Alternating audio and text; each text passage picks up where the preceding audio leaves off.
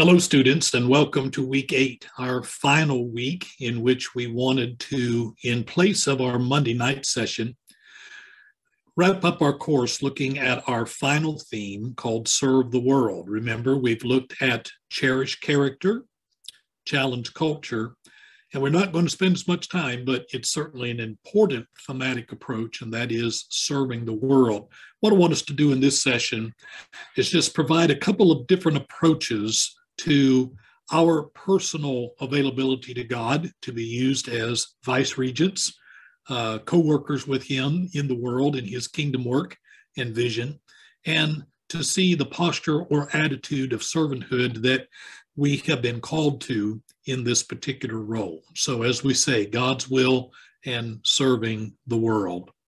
What we want to do is to really pose the question how do we know God's will? When is it that we really know that we have discovered what it is our vocation, our voca? Remember us talking about that last week in session, second, session seven uh, last week. Uh, what is our calling? And I'm going to contrast a couple of uh, authors' approaches. These weren't required readings, they weren't available to you, but I think these are, are great insights into the counterbalance that they provide to one another in the call that God is making on us to serve the world um, and how we can actually look at our own place in the world in this season. I want to call on two different, rather well known and accomplished authors and uh, spiritual leadership and uh, church leadership experts. One of them is named David Platt. Um, he serves a church in the Atlanta, Georgia area and uh, has written a book called Radical Taking Back Your Faith from the American Dream. It's a great read. If you ever have time, I think you would benefit from the entire book that he writ- that he's written. The other who presents a response to what Platt is going to argue, and we'll get into that in just a moment, is named Michael Horton. He's written a book titled Ordinary to see see the two radical, ordinary kind of the dialogue going on sustainable faith in a radical, restless world. And they're both posing the same question, maybe in different ways or verbiage, but they're the same question they're attempting to answer. And that is, what kind of life does Jesus call us to as we read Scripture? As his followers, his disciples, as uh, vice regents, if we continue that, that uh, thematic approach that we've used, uh, that metaphor as uh, a royal priesthood. We talked about that way back at the beginning of the course. What kind of life does Jesus call us to uh, as his disciples? Can we discover that in, in Scripture? Here's the one approach that David Platt has taken. I'm summarizing. He argues that we as the American church, we've become way too comfortable and we've been lulled into an unbiblical vision of Christianity. Now, I'm not asking you to agree or disagree at this point. I'm just sharing with you the paradigm or perspective that Platt that Platt uh, offers. He says this, verse 18 of his book. Here we stand amid an American dream dominated by self-advancement, self-esteem, and self-sufficiency by individualism and materialism. When we hear Jesus saying, and he's going to write about this in his book from Mark chapter 10, the call that he makes on his followers, particularly to the one that we referred to as the rich young ruler uh, in Mark chapter 10 and, and other parallel passages. Go sell everything you have and give to the poor, he told this man who was seeking eternal life, and you will have treasure in heaven then come follow me. Well, that does sound radical, particularly when you consider, as Platt puts it, this American dream dominated by self advancement, self esteem, and self sufficiency, individualism, and materialism. Now, again, you may agree or disagree, but I'm wanting us to see this particular perspective. Here's something else that Jesus said Anyone who does not carry his cross and follow me cannot be my disciple. Any of you who does not give up everything he has cannot be my disciple. There was a radical call that Jesus made to Simon and, and Andrew in following him. Um, so we need to ask the question, Platt argues, what is it do we really value? What is our true treasure? Is it, as he puts it, let me go in the proper direction here self advancement, self esteem, self sufficiency, individual, individualism, and materialism? That can sound a lot like the American church sometimes, can't it? Or is Jesus saying, if you're going to come follow me, then it's going to cost you.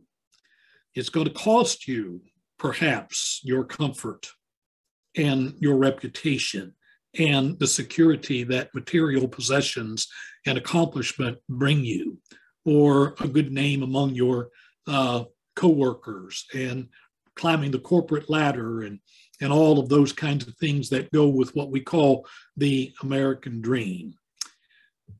A Platt is going to argue in his book Radical that the call that Jesus is making in these passages and others to his original disciples, and then by in perpetuity us as we read the scripture. Remember, uh, we studied earlier that the scripture was written to them and for us.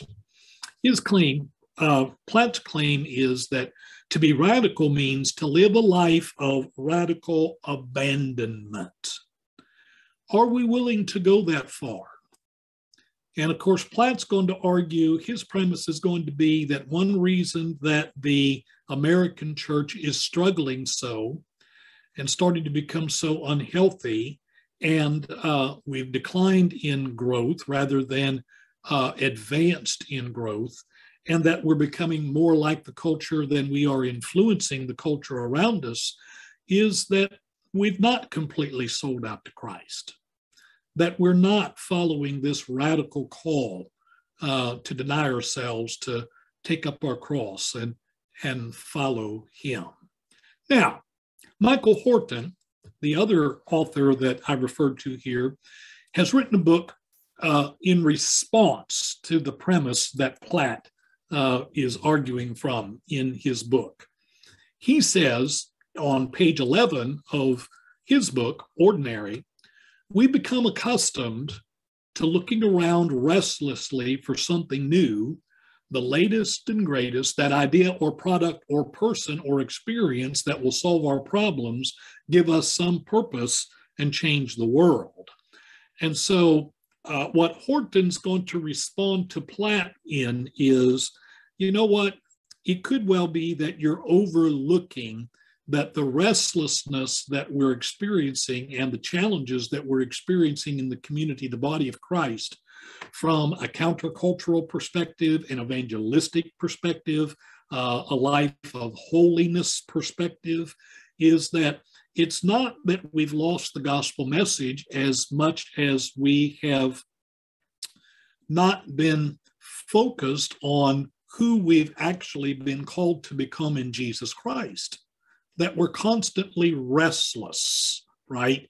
And so we're looking for this new approach and this new idea or product, or maybe this new leader that comes along and that will make life better in the church and make us more sound and and uh, uh, evangelistically effective and more radical in our holiness and and all of these kinds of things. And Horton argues, much like uh, Tisha Warren does, uh, Tisha Harrison Warren. This is another statement alike. Uh, he quotes her in the book Ordinary. She says, We were challenged to impact and serve the world in radical ways, but we never learned how to be an average person living an average life in a beautiful way. I want you to think about that for a moment. Is the only way that we're able to serve Jesus the way of um, of Platt uh, and the idea that in order to be a true disciple, we have to sell everything, either literally or figuratively. that we can't be engaged in culture at all, that we have to be totally devoted in a countercultural way to doing nothing but evangelizing and nothing but living in an opposite way of the culture and, and denying ourselves any inclusion in culture at all. That everything that we do in Christianity and discipleship is on the, the living edge, that uh, uh, we're always in this place of danger and, and this place of risk and in this place of sensational uh, understandings or experiences of Christianity that we're kind of living on this uh, spiritual revolution high, and that's all that, that that it is at times, which is what makes Horton reply that we're kind of we're we're we're tossed about looking for something, the next big thing that will satisfy us and settle us. When both Horton and Warren, quoted by Horton, argue that there is tremendous power in living, by contrast to being radical, a rather ordinary life. One that in the only in the way that people think about being truly sold out for Jesus, we sell everything we have, we go to a foreign country, and we spend the rest of our lives living at risk and in danger evangelizing the heathens, right? But the ordinary nature of life is more likely what most of us experience. And it's more likely what God has called us to live a transformational kind of life in what could be seen as the mundane, the routine, maybe the humdrum or even boring, but it's no less necessary because it honors Jesus where we are. I like this statement. We've never learned to be an average person living an average life in a beautiful way. Have you ever noticed that when it comes to sharing your testimony, for example, or telling your story? Have you noticed that there seem to be those people who have been converted to Christ that just have this compelling, uh, dark to light experience, lostness to salvation. They were living on the edge, and, and everything about their life was lived with reckless abandon to the point that they were in danger all the time. Now, it was their own self absorption, it was their own bad decisions, it was their own living of their own lives with their own wisdom, the God's wisdom that put them in such extreme places. But when they were converted, they went from night to day to being this sold out disciple, now completely holy. And they've got this they've got this very compelling story uh, about the, the extreme sinner that they once were. When most of us we experience fallenness. We certainly rebel against Christ. We disobey the will of God, but we don't do it in such radical, risky, outlandish ways that puts us out on the edge. And so when we came to the knowledge of the grace of God, when we come to understand the gospel of Christ and what God's doing for us through him in saving us from our sins and and and transforming us into this uh, this new person again who is reformed in his image, we don't have a dramatic story of going from darkness to light, from going from radical sin to radical holiness.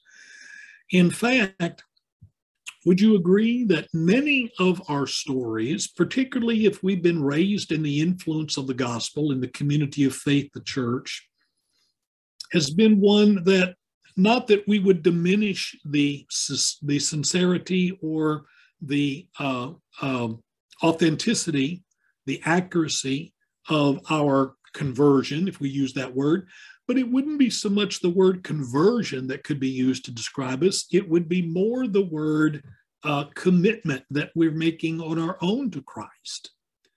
And so the, the, day after we have committed our lives to Christ doesn't look that much different than the day of or the day before.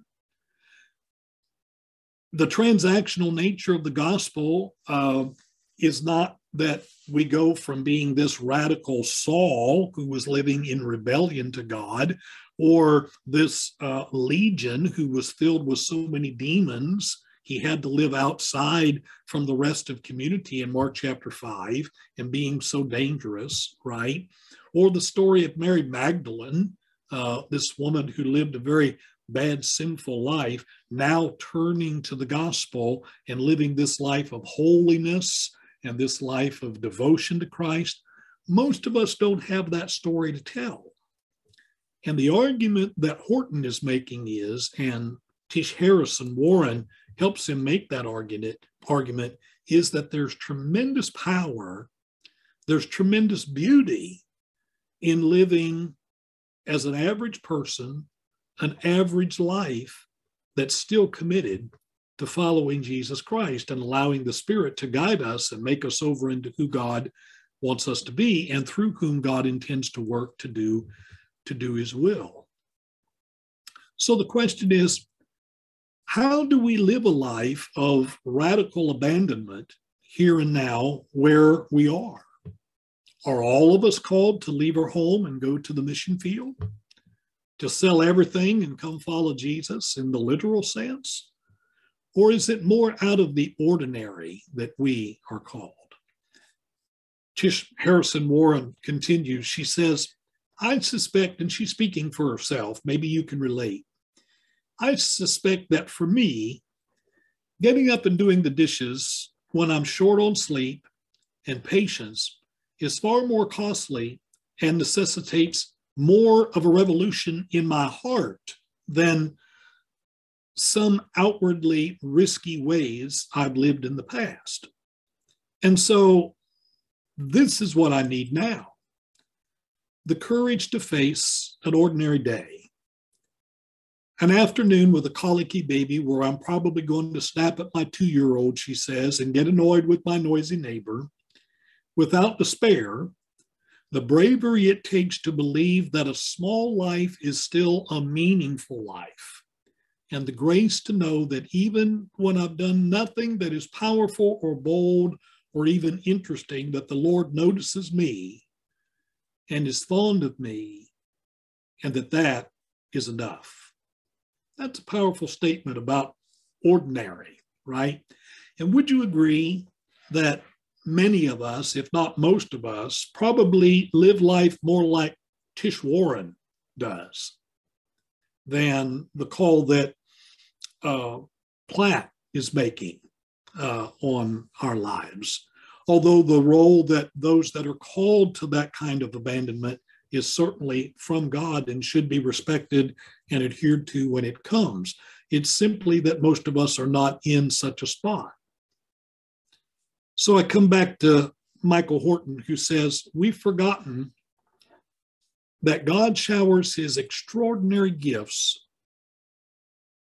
through ordinary means of grace loves us through ordinary fellow image bearers and sends us out into the world to love and serve others in ordinary callings. So we come to a little crossroads, and if we were together on Monday night in, in discussion groups, we could discuss this. We're not in that spot, but I would like for you to ponder it. Uh, David Platt versus Michael Horton. Radical versus ordinary? Is it either or? Or could it be both and? In other words, is there something legitimate about the point that Platt is making that unfortunately far too many forms of our personal Christianity and that in our church communities has been formed by an Americanized approach to Christianity that is much more self centered and self serving than maybe we want to admit. And as a result, we become much more in the line of a consumer Christian. That if life goes well and we experience God's blessings, that's what we want to need. All we know we need our sins forgiven. But the God of grace appeals to us far more than the God who demands holiness from us, right? And will accept no less than full devotion to Him. Is it that and only that? Or is it that we live a humdrum life by comparison to this radical call that we're describing? And that uh, it's not really going to be that much different than what we were experiencing before we committed ourselves to Christ, other than we had our sins forgiven and now we're called his followers. Is it either or? Or can it be both and? That the call that's being placed upon us when Jesus says, anyone who would come after me and be my disciple must first deny himself, take up his cross, and follow me. There is a certain self abandonment that's involved in that, and we have to address it. We can't continue on lines in the lines of thinking of consumer Christianity, what's best here for me you know, much like going to the Golden Corral and the the the large cafeteria buffet that is there. Oh, give me a, a, a double portion of God's grace and love and mercy and His goodness and His generosity, but hold all of that suffering, hold that that recrimination that I might end up getting if people knew that I was a Christian. Or, or I know I'm not into that self-denial. I still want to indulge myself in the things that that I enjoy, but I still want God's grace. I still want forgiveness. I still want to be called his son and daughter. I still want to be uh, uh considered a Christian, right? Though there is a radical call that he's making on us. And for most of us, must, most of us, it's not going to take us outside the neighborhood usually where we live. Now, for some, it will. For most of us, it's not going to require change of occupation. For some, it will. For many of us, it's not going to change major habits and certainly character traits that we possess, but for some of us, it will. But the decision that we have to make is are we willing to deny ourselves in order to truly follow Christ? And that's what Platt's arguing. But could it also be true that at the same time that there is that radical call in our lives, that for most of us, it's going to look rather ordinary?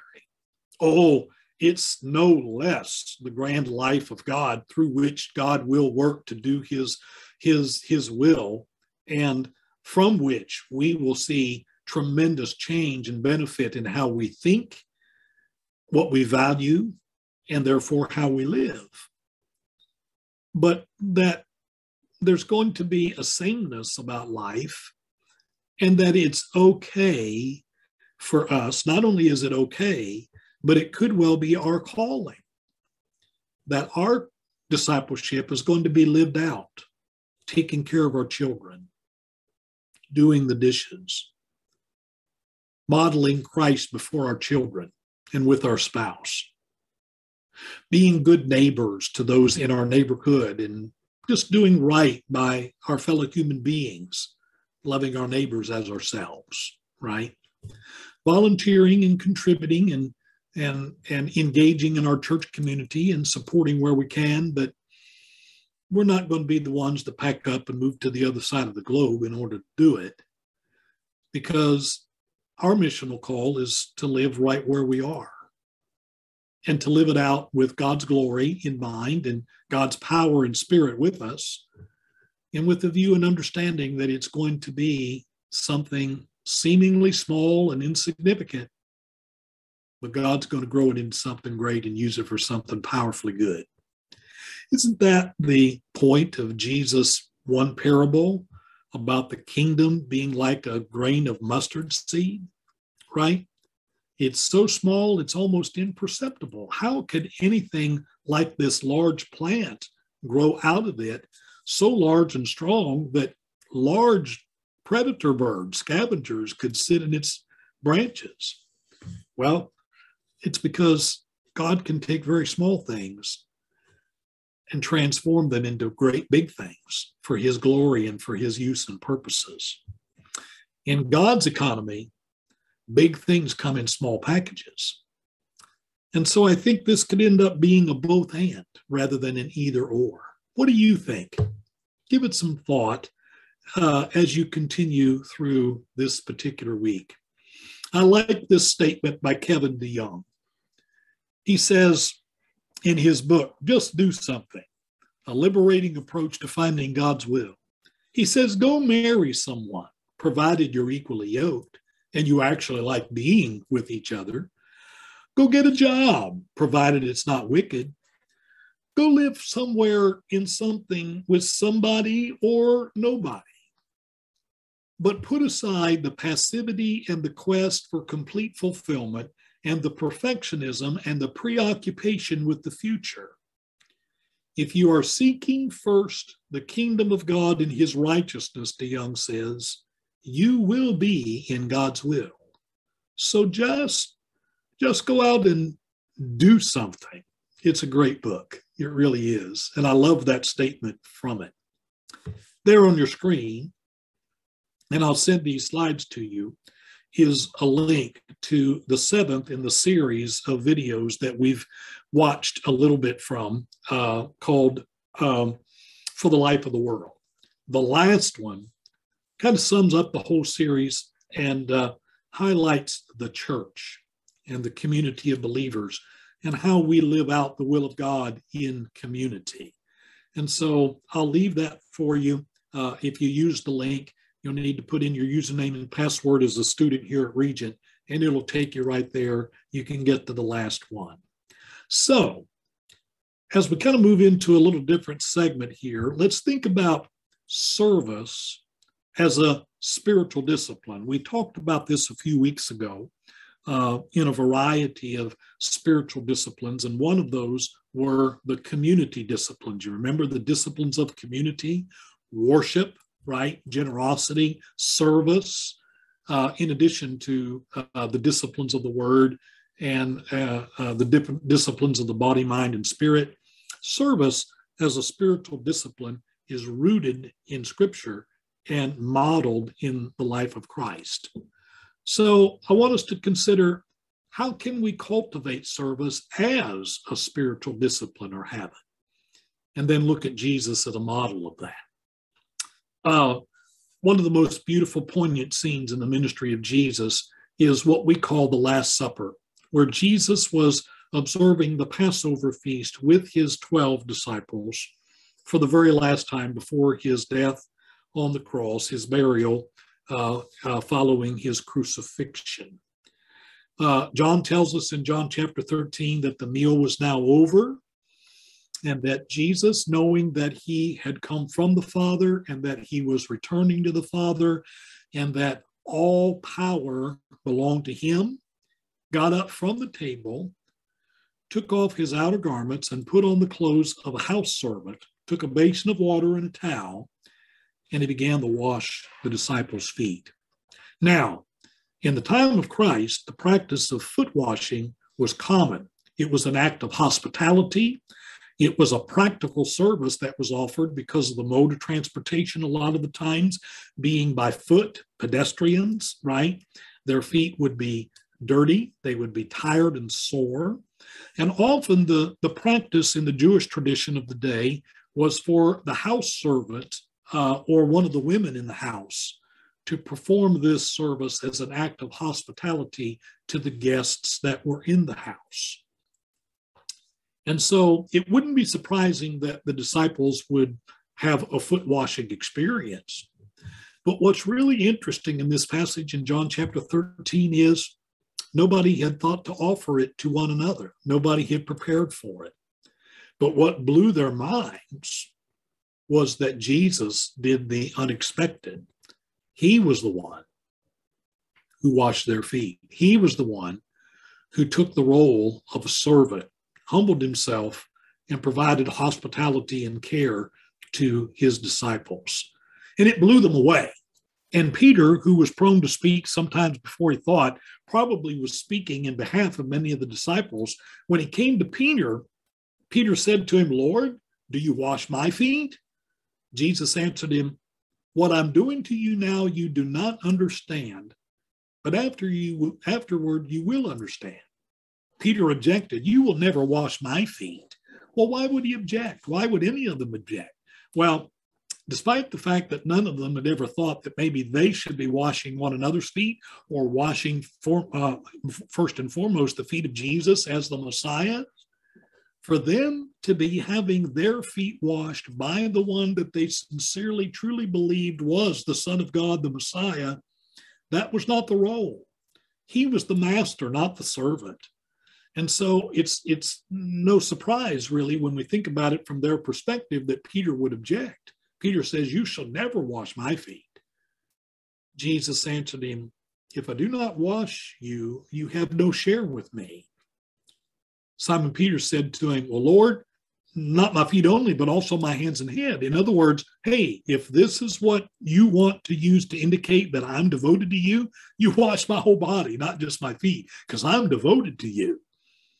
But Jesus replied, The one who has bathed, ceremonially cleansed, does not need to wash except for his feet, but is completely clean, and you are clean, but not every one of you. Now, that's a reference to Judas, who eventually here in the same night is going to betray Jesus. You see what Jesus does here?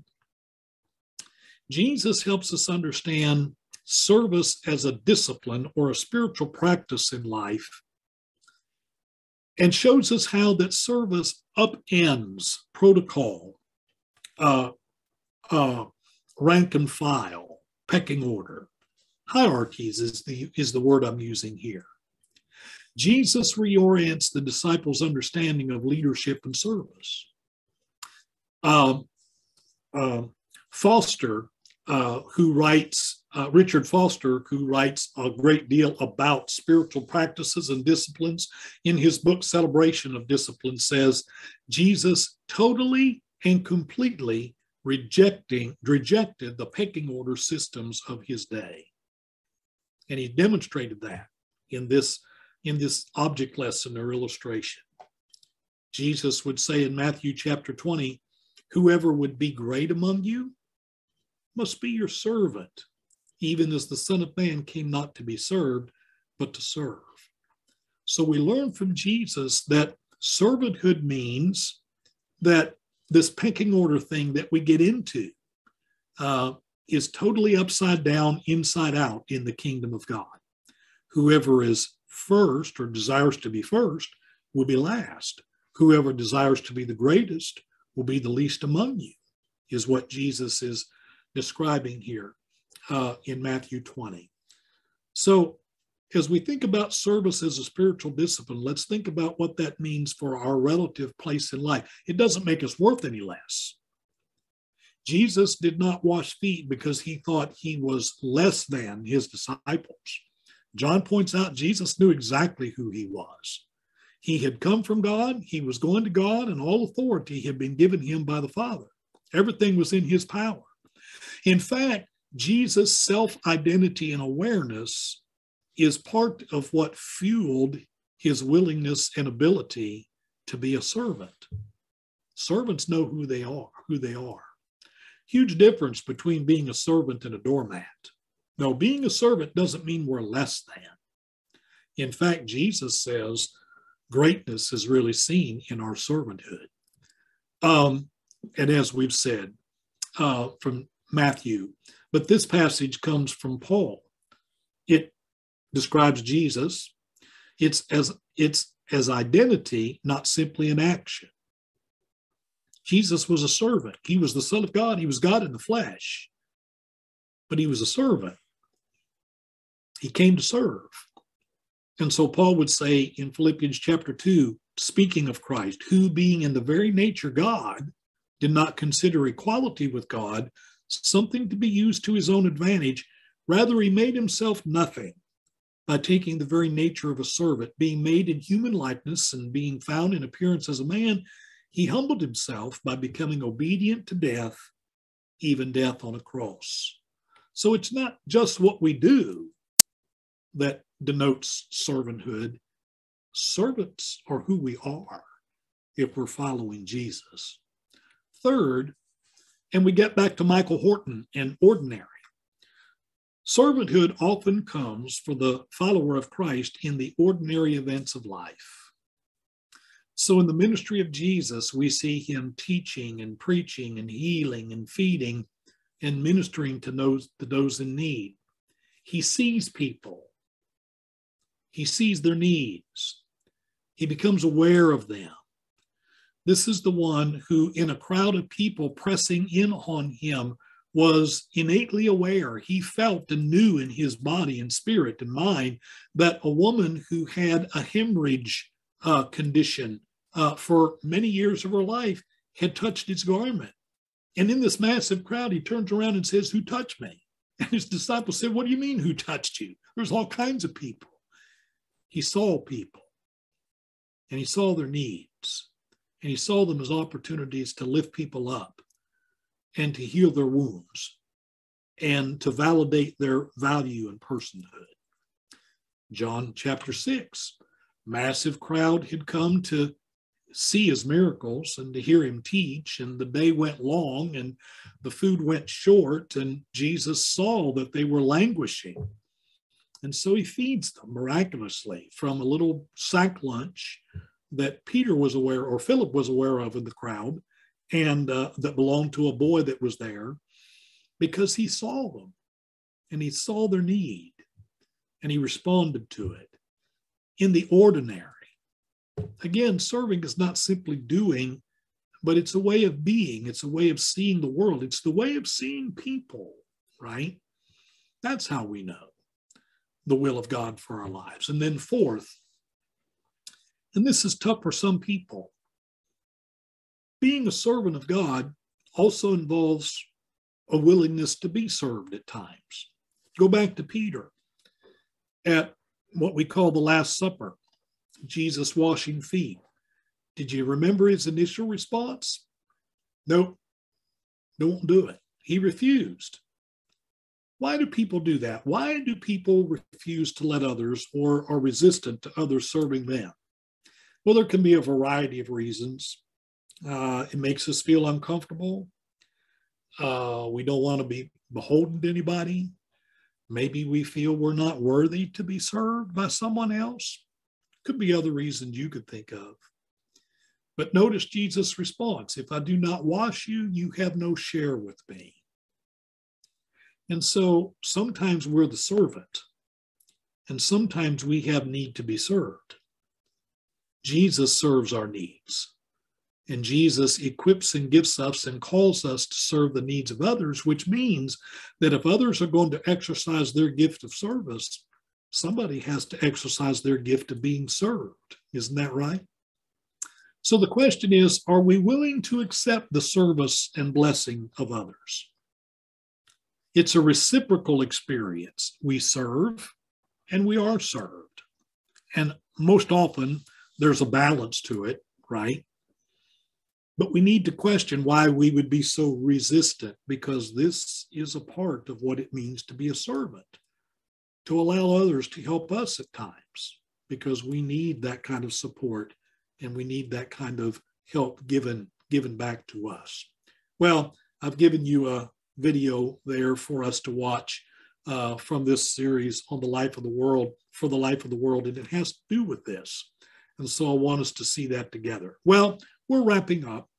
This is what we're doing the rest of the week. Um, once again, no in person class tonight. Uh, here's our session. But uh, we do have our um, career management assignments to complete. Uh, we have our final exam to take. It's open now for you to take. Uh, everything is set. If you have time before the end of the week do it, just knock it out and be done. Um, and uh, we have a couple of videos that help set up this theme for the week. Hopefully you can you can pay attention to those. Uh, but I'll leave you with this. We're approaching Christmas. We're talking about Jesus as a servant. We're talking about living the radical call to holiness and servanthood. We've talked about Dietrich Bonhoeffer already in our course, but I love this statement as we approach the holidays. He asked, Who will celebrate Christmas correctly? Whoever finally lays down all power, all honor, all reputation, all vanity, all arrogance, all individualism beside the manger.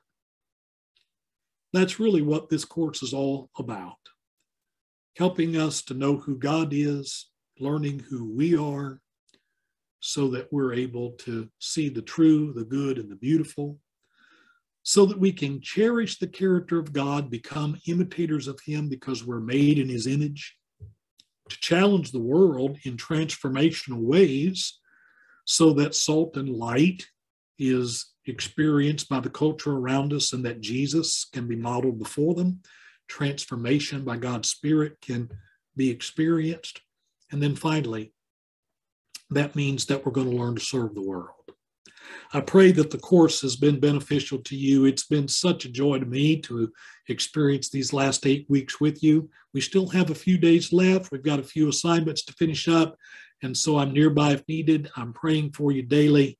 But uh, God bless you as you learn to cherish character, challenge culture, and serve the world.